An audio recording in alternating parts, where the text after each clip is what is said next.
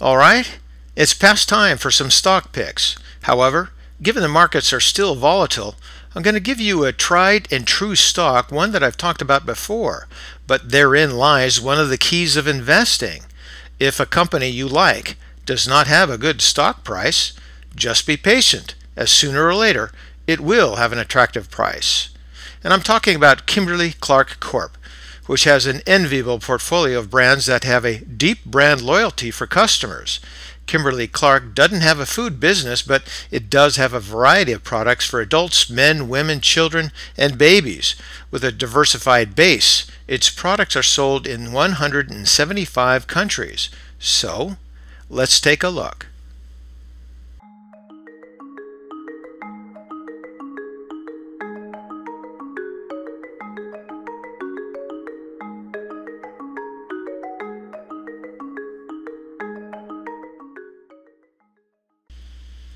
Kimberly Clark saw above average growth during the worst of the pandemic. However, with more normalized growth, the company hasn't seen a steep decline like others. In fact, Kimberly Clark recently raised its dividend. That increase marked the 50th consecutive year of dividend growth, and that qualifies Kimberly Clark as a dividend king. And there are only about 40 or so companies with the required five decades of dividend growth to gain entrance into this group. Right now, the dividend is about 3.35%, or nearly three times the average yield of the market index. And the current yield also compares well with its historical average yield of 3.2% since 2012. So, let's go to our charts. So we're now looking at a 20-year monthly chart on Kimberly-Clark, and as you can see in the upper left, the symbol is KMB. And for disclosure purposes, I do not own any shares of Kimberly-Clark at this time. Now, a couple of things here looking at this price chart, you can see from 2003, perhaps better, from 2009, a decent overall growth rate on the way up. Now, a couple of other things that I want you to take a look at are these uh, double tops here and then the sell-off. And you go back here, you see a couple of double tops and the sell-off here. Now, at this point, we've had a spike up there in mid-2020. The stock came down here, but it's been trading, say, in this channel for the last uh, year and a half or so. So that's going to be somewhat interesting once we take a look at the oscillators. I think you're going to find a divergence. So let's go to the oscillators. Moving down here into volume, not going to tell us too much. It looks decent. And now into the MAC. And here we are with that divergence with the price trading in that channel sideways more or less. There is a lot of volatility, but sideways more or less.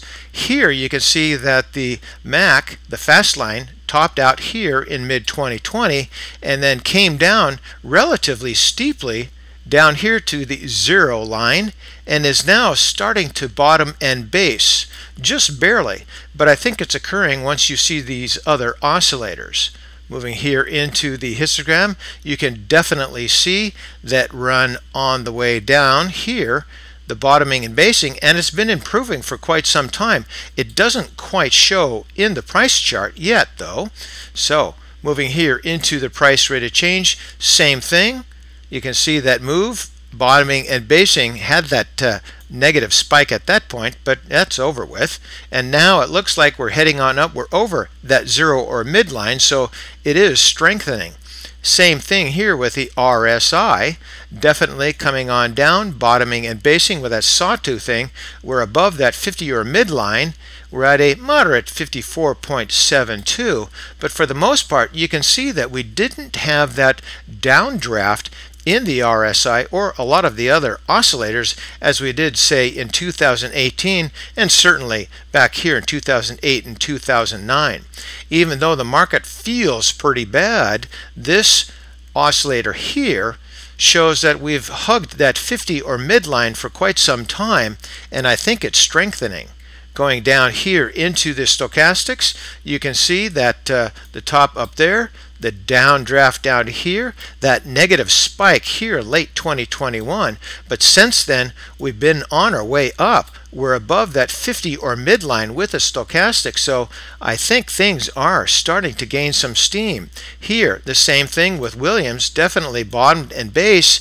And actually, the Williams already ran up into that overbought territory. It did pull back pretty hard, but a bounce back on up. Not quite to that oversold territory, but I think we're going to get there. So the Williams is telling you things have improved. Back up here to the price chart. Well, we can see from the price chart that that negative bottom here in early 2022 came at that there. I'd like to get that price, but simply up here, it's not too bad, especially for that yield. That divergence going sideways with the oscillators heading on up tells me that we might make a move. And if we break out of that channel line, that top channel line, then up, up we go. At least that's my opinion. Now, always study the fundamentals. And for today, that's ChewDog Charts. Thank you.